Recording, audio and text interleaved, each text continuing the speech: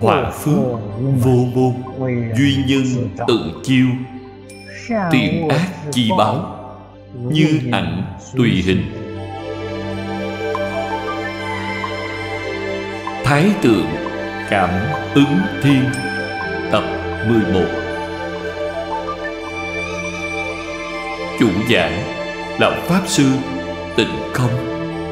Địa điểm Tịnh Tông Học hội Singapore Chư vị đồng học. Chào mọi người. Mời xem Chánh văn Cảm ứng thiên Bắt đầu Từ câu thứ tư.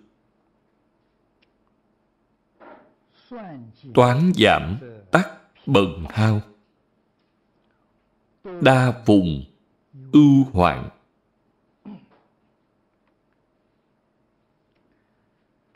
Đây là một câu. Cũng là nói về một sự việc. Từ câu này đến câu thứ chín. Toán tận tác tử. Đều là nói rõ ràng, tỉ mỉ về chân tướng sự thật này.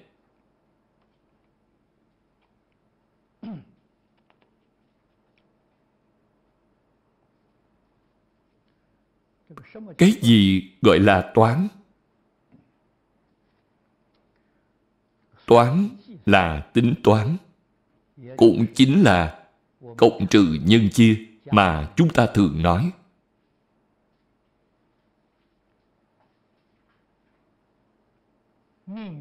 Vận mệnh đương nhiên là có. Do nghiệp tạo đời trước mà cảm đến quả báo.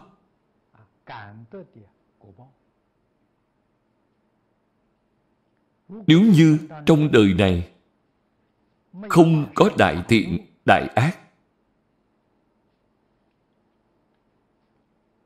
thì đại khái vận mệnh của cả đời đích thực là như định số.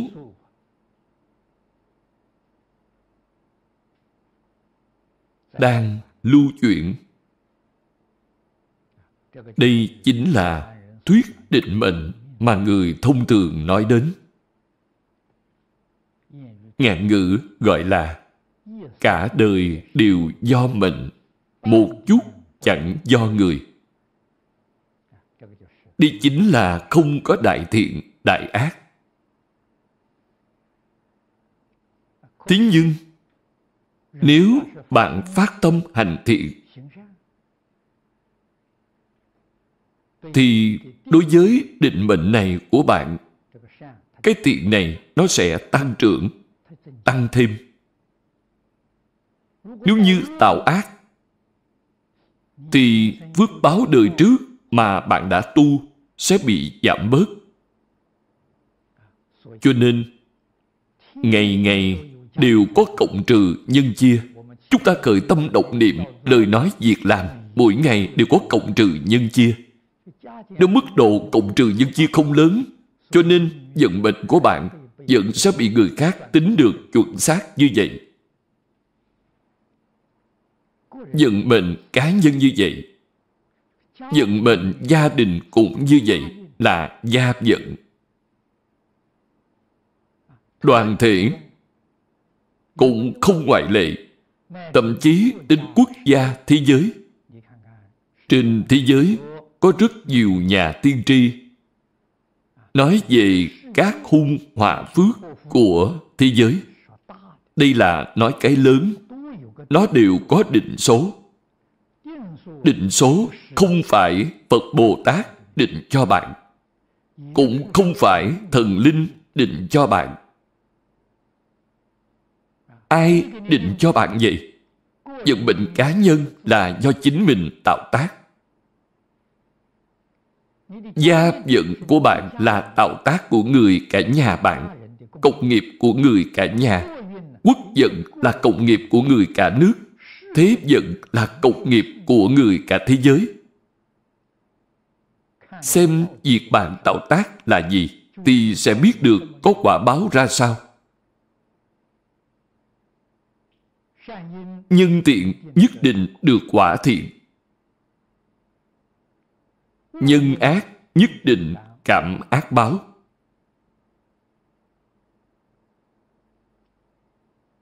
Đây là chân lý.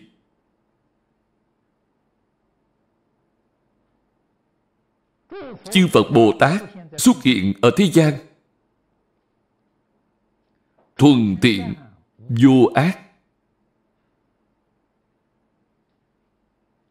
Vẫn không rời khỏi chân lý của nhân quả. Kinh pháp hoa nói, nhất thừa nhân quả. Kinh hoa nghiêm nói, ngũ chu nhân quả.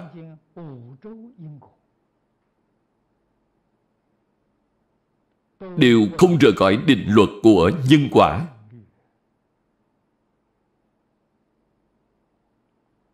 Cho nên phật pháp mới nói dạng pháp giai không, nhân quả bất không. Nhân quả vì sao bất không? Nhân quả chuyển biến bất không. Nhân sẽ biến thành quả quả lại biến thành nhân mới.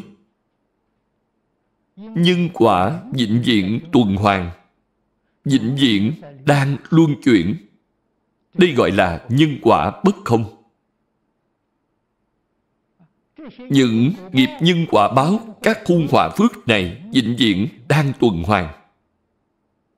Đây chính là tiếp nối bất không. Đây là đại đạo lý, là chân tướng sự thật. Phật dạy chúng ta lìa tướng tướng thế gian, không thể chấp trước tướng phật pháp cũng không thể chấp trước. Trong kinh kim cang nói được rất hay.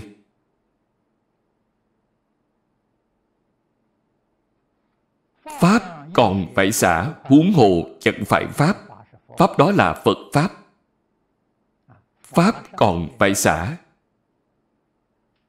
Chính bởi vì phật pháp là nhân duyên sanh. Pháp nhân duyên sanh không có tự tánh. Đương tệ tức không, liệu bất khả đắc. Thi pháp, phật pháp đều không ngoại lệ, cho nên đều không thể chấp trước.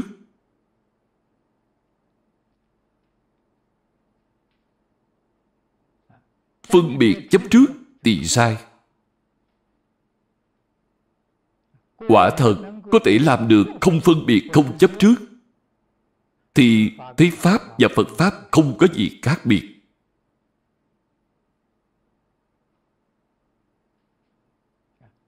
Những đạo lý này trong kinh đại thừa nói được rất nhiều. Chúng ta phải bình tâm mà thể hội. Hết thảy hiện tượng phải bình tâm mà quan sát. Thì chúng ta mới có thể chân thật đạt được thọ dụng, phá mê khai ngộ, lìa khổ được vui chúng ta quan sát đại hoàn cảnh hiện nay. Hoàn cảnh sinh hoạt, cả thế giới đều đang động loạn.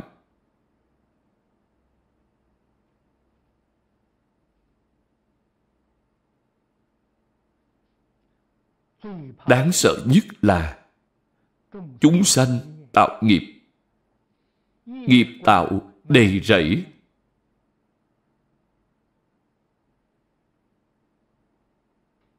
Thì quả báo sẽ hiện tiền.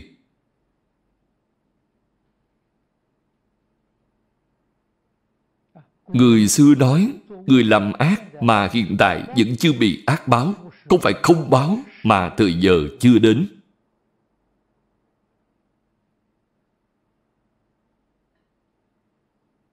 Những sự thật này, trước đây trong lịch sử có ghi chép, toàn bộ lịch sử chính là viết theo nhân duyên quả báo.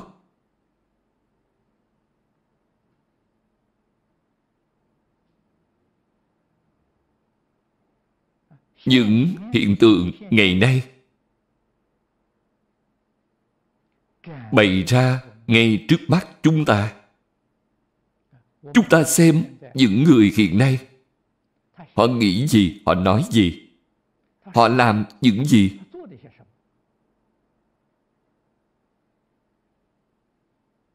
Quả báo tương lai là thiện, là ác, là cát, là hung, là họa, là phước.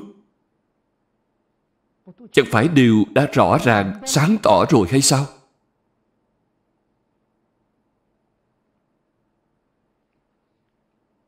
Người trong đời quá khứ, tu phước.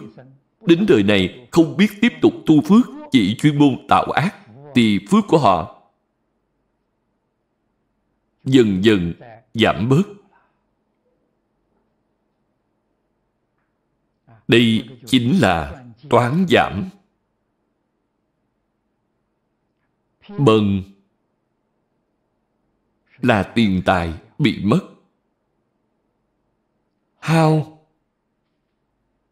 Là hao tổn. Hao tổn đến mức nghiêm trọng nhất là nhà tan người mất.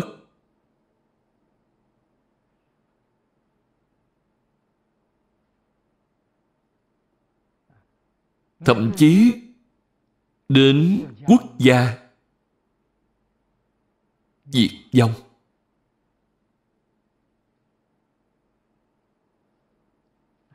đa phụng ưu hoạn ngày nay, chúng ta sinh sống ở thế gian này. Hai câu nói này đích thực là viết theo đời sống của chính chúng ta.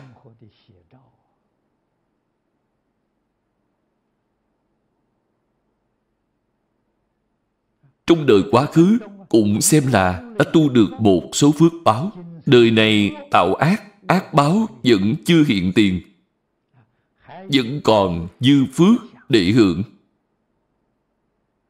Phước báo trong đời quá khứ đã tu không nhỏ.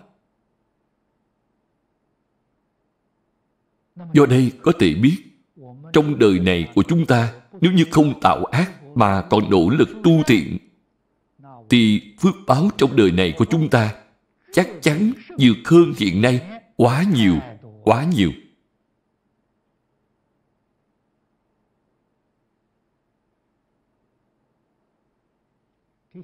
Những đạo lý này, nếu như không phải là người chân thật tham thấu, thì khi bạn nói cho họ họ sẽ không tin tưởng. Vì sao không tin tưởng? Vì họ mê rồi, mê quá sâu.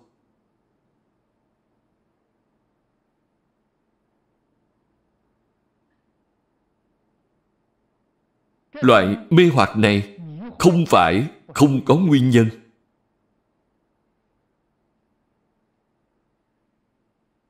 Bởi vì hiện nay, những gì họ thấy được, tiếp xúc được, dường như không giống như người xưa nói. Lời của người xưa hình như là một loại lý tưởng, không phải sự thật. Những sự thật mà họ thấy không phải như vậy. Họ tin tưởng những chân tướng sự thật mà họ thấy. Kỳ thật, họ thấy sai rồi.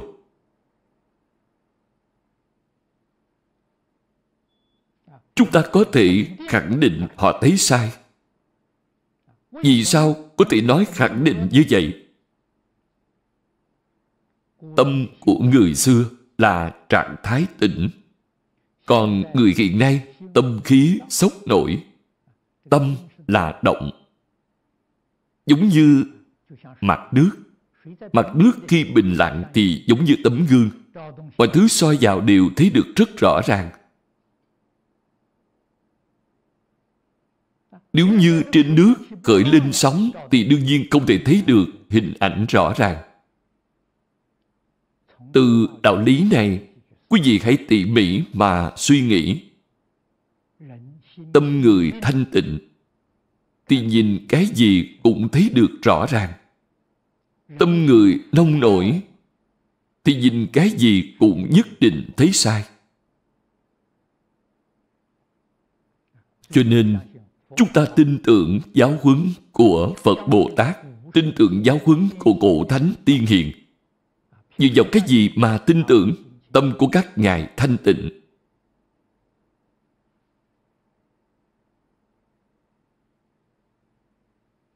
Các ngài bị ô nhiễm ít hơn so với chúng ta. Tâm tư hiện tại của chúng ta là sóng to, gió lớn. Điều này chính mình phải rõ ràng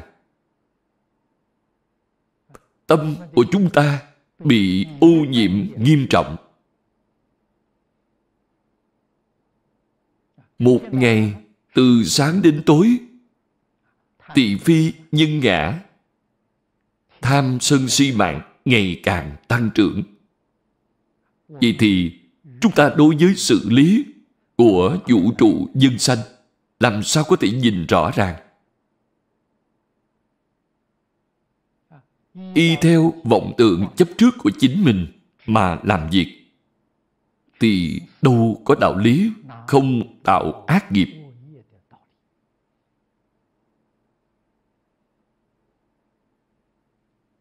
Ngày nay học phật nếu muốn có thành tựu nếu muốn có được một chút thọ dụng thì nhất định phải bỏ đi thành kiến của chính mình phải thừa nhận thành kiến của chính mình là sai lầm. Phải mau quay đầu. Quay đầu là bờ.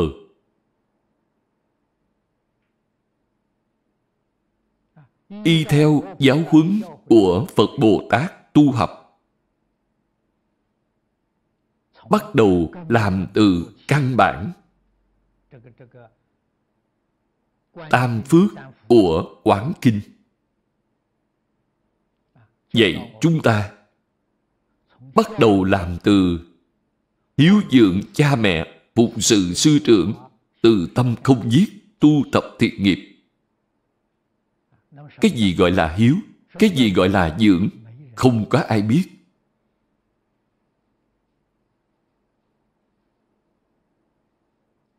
Cái gì gọi là phụng sự cũng không có người biết. Hiện nay, mọi người xem thấy những chữ này tự cho rằng mình đều đã làm được.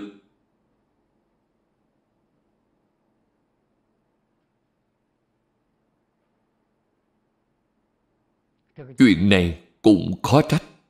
Chính họ đều làm được làm được rất tốt, đều làm được rất viên mãn. Vậy thì họ thành phật, thành bồ tát hiện nay, ở thế gian này tự mình tuyên xưng, họ phật gì đó tái lai bồ tát gì đó tái lai. Việc này không thể trách họ. Chính họ cho rằng họ thành phật rồi. Trong kinh, phật nói với chúng ta, người trời tứ thiền, người trời tứ không cho rằng chính mình thành phật, thành bồ tát bây giờ không cần phải đến trời tứ không chính ngay hiện tiền họ đã thành phật. Thành bồ tát họ hiểu sai.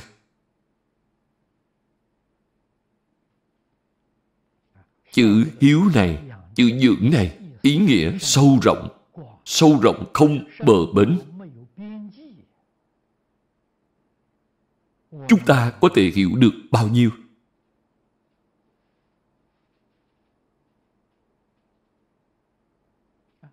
Đảnh giác bồ tát vẫn còn một vọng sanh tướng vô minh chưa phá. Hai chữ hiếu dưỡng này vẫn còn kém khuyết một phần, vẫn chưa viên mãn. Đạo lý này ai hiểu?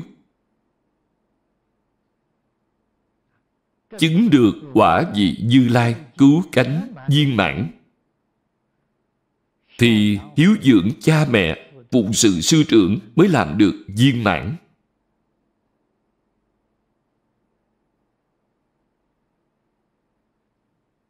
Do đây có thể biết hiếu dưỡng phụng sự chân thật làm đến đắc lực. Thì bạn liền nhập vào quả vị của thánh nhân. Mức độ thấp nhất là bồ tát sơ tính vị của viên giáo lấy tiêu chuẩn này để nói. Khi 88 phẩm kiến hoạt trong tam giới chưa đoạn,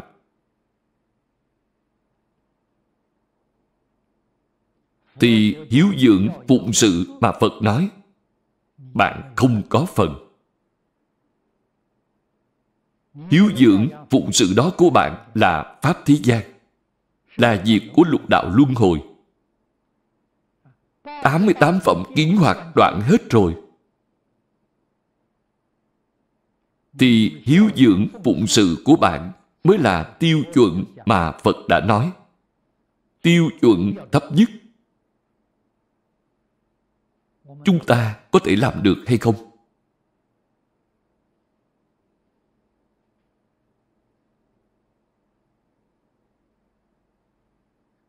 Niệm Phật giảng sanh thế giới Tây Phương cực lạc, thật sự giảng sanh rồi thì việc hiếu dưỡng phụng sự của bạn có thể nói là làm được một nửa.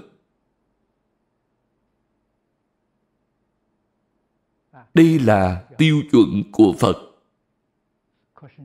Thế nhưng bạn niệm Phật nhất tâm cầu sanh tịnh độ, có thể chân thật sanh tịnh độ hay không? Phải thật giảng sanh mới được. Niệm Phật mà không thể giảng sanh thì không được. Vì sao không thể giảng sanh? Bạn phải suy nghĩ. Bạn nhất định phải đem nguyên nhân không thể giảng sanh tiêu trừ đi.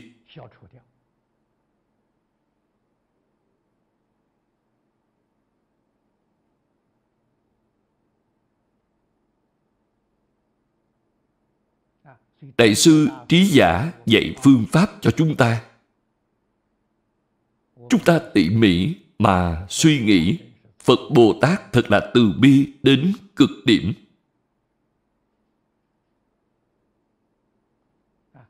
Dùng phương pháp ngũ đình tâm quán để giúp chúng ta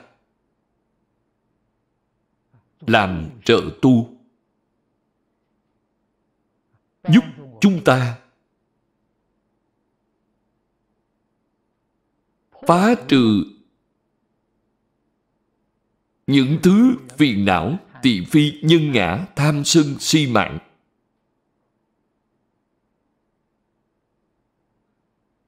Phật chân thật có phương pháp tốt.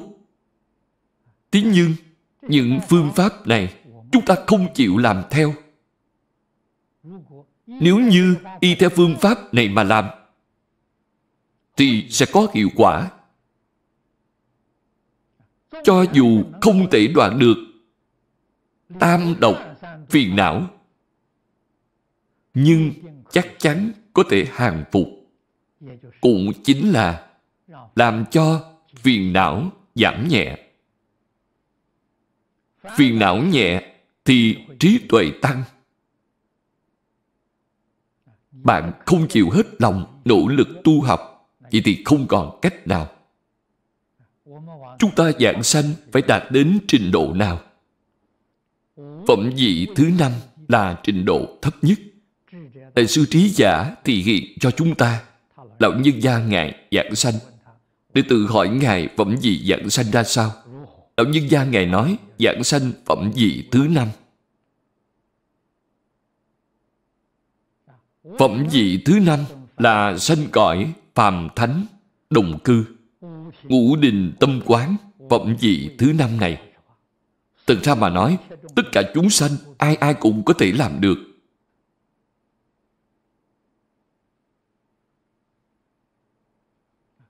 Đại sư trí giả dạy cho chúng ta phương pháp này, cũng chính ngài làm ra tấm gương. Thật là từ bi đến cực điểm.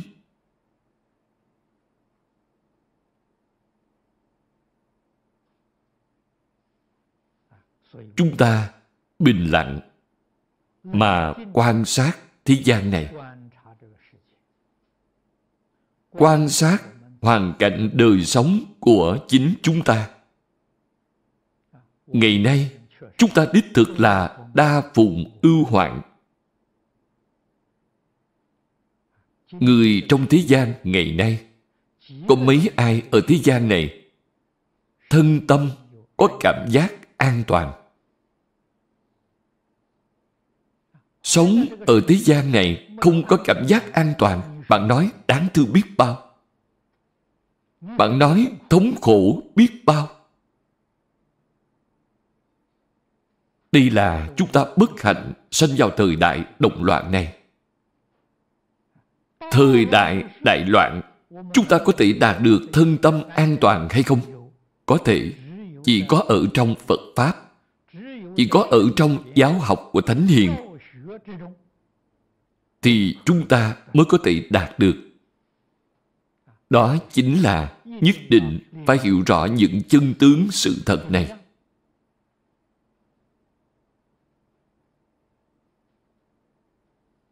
Biết được chính mình. Từ đâu đến? Biết được chính mình sẽ đi về đâu? Biết được thế gian. Đủ loại nghiệp nhân, quả báo, thì tâm của chúng ta mới có thể an. Cái gọi là lý đắc tâm an. Đạo lý hiểu được rõ ràng thì tâm liền an. Bạn không hiểu rõ những đạo lý chân tướng sự thật này, thì tâm của bạn làm sao có thể an?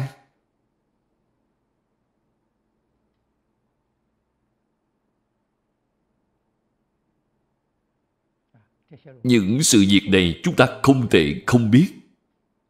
Không thể không rõ ràng, không thể không học tập. Nếu bạn muốn biết, muốn hiểu rõ mà không học tập thì làm sao được? Học, còn phải tập. Tập là thật làm. Vậy bạn mới có thể thực sự thể hội